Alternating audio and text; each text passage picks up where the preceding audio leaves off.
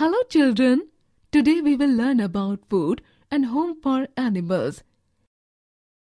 As we need food to live, animals also need food to survive. Some animals like rabbit, goat, cow eats grass and leaves. Some animals and birds like sparrow, pigeon, squirrel eats seeds, fruits and grains.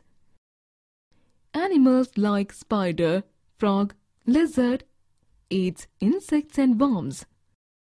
Some animals like tiger, wolf etc. eat flesh of other animals.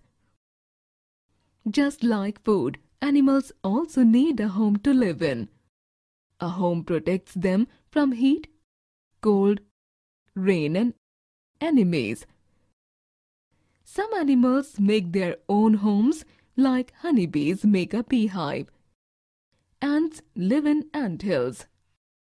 Birds make their own nests. Lions and tigers live in dens. Spiders make their own webs. Some animals live in homes made by man like cows live in a shed. Horses live in a stable. Dogs live in a kennel.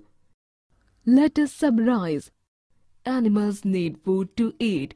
Sparrow and pigeon eat seeds and grains. Some animals like lion, wolf etc. eat flesh of other animals. Animals need home to live in.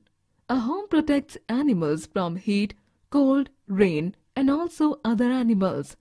Some animals like cow, dog, horse etc. lives in man-made homes. Spider and lizard are worm and insect-eating animals.